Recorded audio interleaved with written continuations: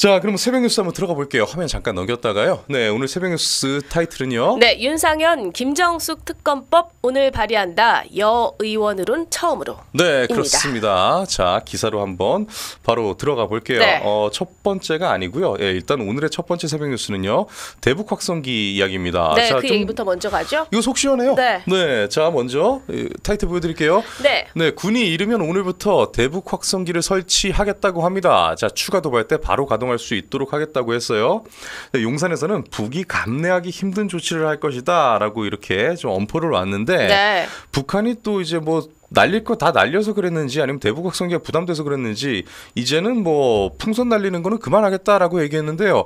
이 모든 원흉을 먼저 보여드리겠습니다. 자 여러분, 네. 자 먼저 판문점 선언이 있었어요. 그렇죠. 네, 2018년 4월 27일에 있었던 판문점 선언. 아, 그놈의 진짜 평화, 평화.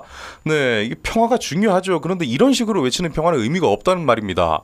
자, 문재인과 김정은 둘이 만나가지고, 예, 아주 그냥 어, 속닥속닥 얘기를 하더니까 완전한 비핵화를 통해서 핵 없는 한반도를 실현한다는 공동의 목표를 확인했다라고 하는데, 어 당시에 네. 왜그 그 왜 CV 뭐 아이디 뭐 이러면서 뭐 이제 뭐 검증 가능하고 완전한 비핵화 트럼프가 제창한 게 있었잖아요. 네. 그런 요건을 충족시키지 못하는 비핵화예요, 이거는. 근데 선언만 하고 한마디로 북한은 그냥 그동안에도 북한이 핵을 쐈나요? 뭐 다른 네. 나라에다가? 아니잖아요. 실험만 네. 했지. 그러니까 북한은 살던 대로 그냥 살고 우리는 방패를 전부 다 내린다 이 얘기입니다. 우리는 뭐 하느냐? 그래서 4월 27일에 이거 약속했잖아요. 5월 1일부터 확성기 방송 안 해요. 그렇죠. 전단 살포 중지해요. 네. 서해 NLL 이때 평화수역으로 한다 하고 평화수역이라 써놓고 그냥 어 방어 포기 수역이라고 해야죠. 예. 어 단계적 구축 뭐 종전 선언을 위해 연내 회담한다 하는데 예 웃긴 소리 하고 있어요. 누가 참 진짜 네, 사실 아이고. 북한이 가장 싫어한다고 하는 네. 저 확성기 방송을 네. 알아서 맞아요. 네 그만하겠다라고 예. 한 거죠 사실상. 이게 박근혜 정부에서만 확성기를 두세 번 정도 이렇게 했었는데 그때마다 정말 막 진절의 시계 싫어했대요. 이게 네. 30km까지 소리가 전파된다 하더라고요. 저런 게 사실 가장 무서운 거잖아요. 그러니까요. 네. 그다음에 하나 더 싫은 거. 네. 9.19 남북 군사합의 또 있었습니다. 네. 예, 2018년 9월 19일. 그러니까 이게 2018년 한 해 동안 얼마나 많이 진짜 스피디하게 나라를 그렇죠. 아주 안보를 망가뜨렸는지. 네.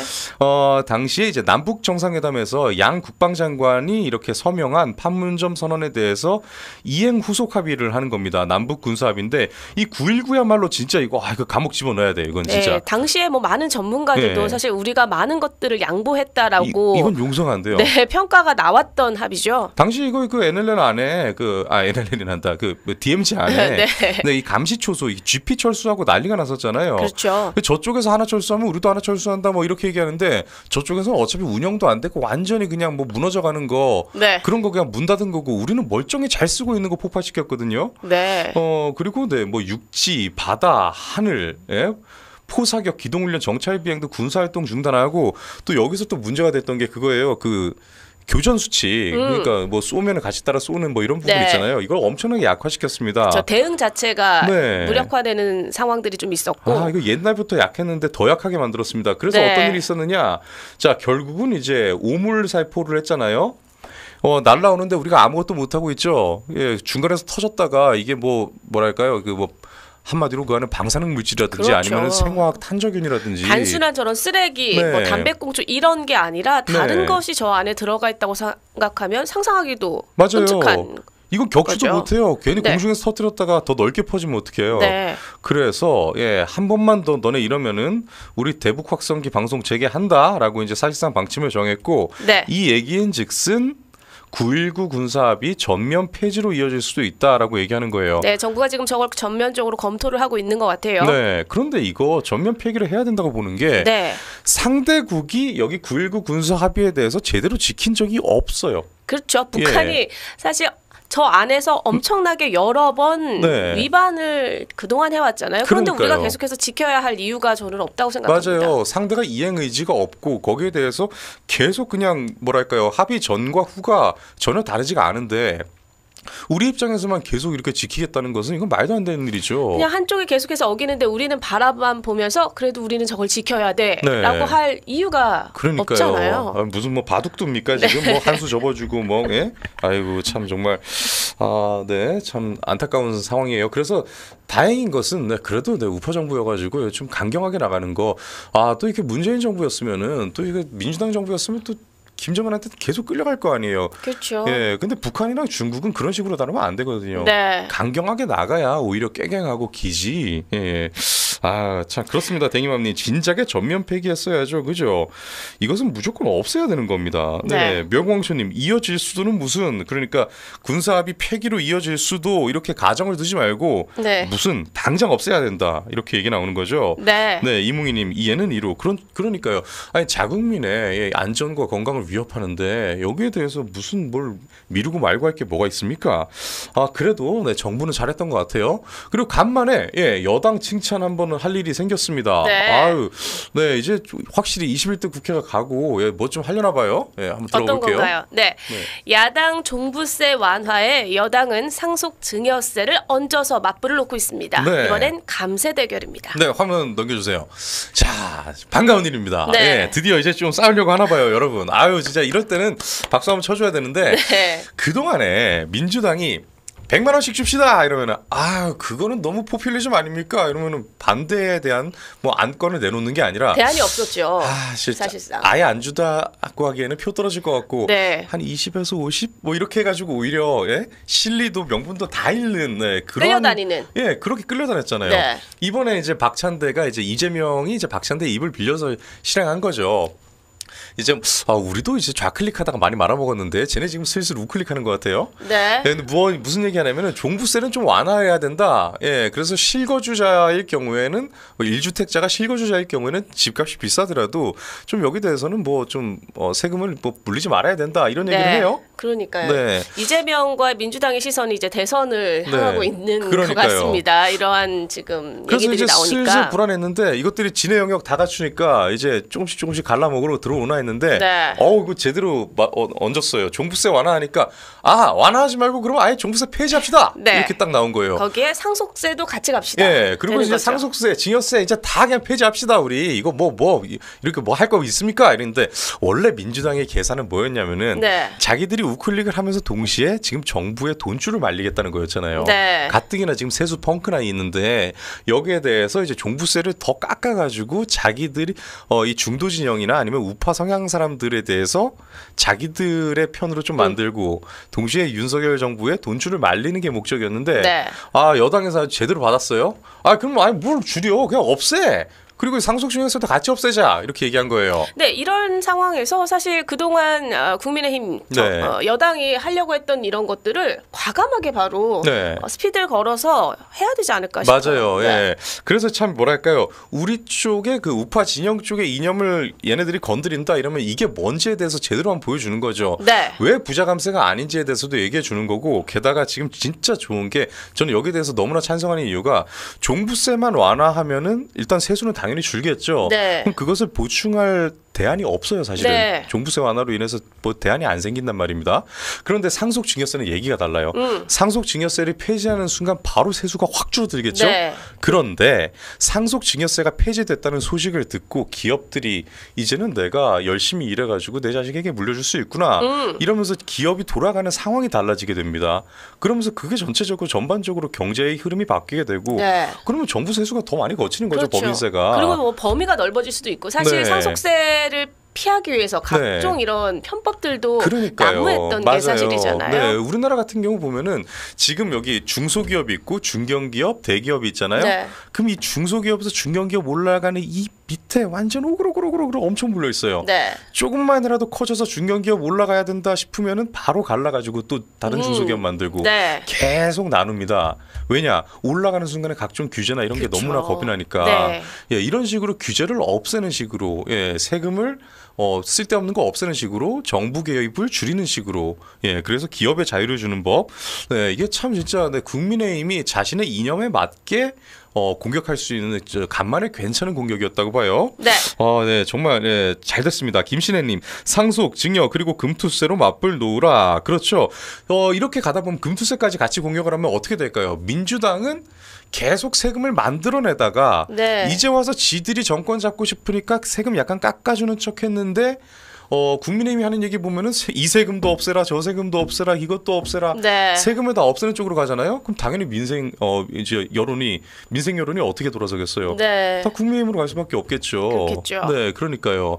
어, 지금 가뜩이나 금투세에 대해서 윤석열 대통령이 만든 거라고 지금 덮어씌우려고 노력 많이 하는 것 같은데 사람들이 열이 받아가지고 이거 안 속더라고요.